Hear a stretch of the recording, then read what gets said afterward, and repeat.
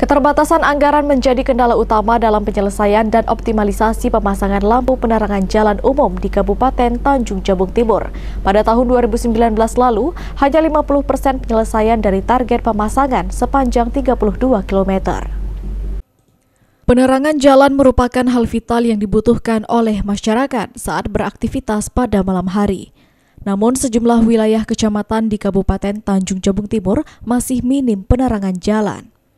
Kabit Pertamanan dan Penerangan Jalan Dinas Perkim Kabupaten Tanjung Jabung Timur, Ahsyata mengatakan, faktor pertimbangan pemasangan LPJU yakni lokasi permukiman warga, jumlah penduduk, dan faktor keamanan.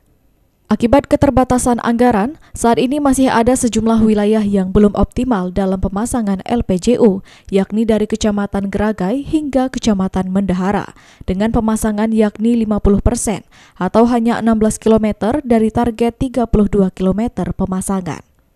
Jadi anggaran PJU itu sendiri untuk 2020 itu kan ada beberapa spot ya yang menjadi fokus kita untuk rusunawa sendiri mungkin nanti kita lengkapi dari simpang itu sampai ke dalam ya kan?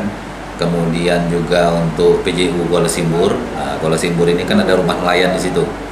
Nah jadi itu juga nanti kita pasang juga. Kemudian ada di Sungai Jambat kemudian ada di Kecamatan Geragai ada di uh, Rantau Rasau. Rama Admiral, Jack TV melaporkan.